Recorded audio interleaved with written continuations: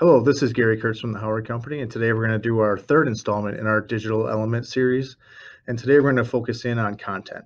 Content is probably the most important thing uh, for digital signage. As you pull everything together, it has to be the thing that that sells your company. Some some do's and don'ts in, in regards to content are you really do want to use different kinds of media.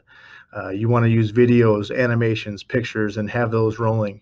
Uh, the main thing that you're trying to get get across to your customers is that you want them to buy more and buy what you're showing. Focusing in on high high margin items, uh, things that you're trying to get across, LTOs, deals, uh, that's great. As you're going about the, creating your content, you want to work with somebody who's going to be able to do all those functions. You want them to be able to run videos, do animations, uh, schedule your content, and work with your people on focusing in on what's important to you. If whether that be a sandwich, if you're a restaurant, or you know a promotion that you have going on in basic digital signage. So one of the big don'ts uh, in this is that you don't want to make it too flashy though. You want them to be able to focus in on things. So having everything moving all at once confuses people.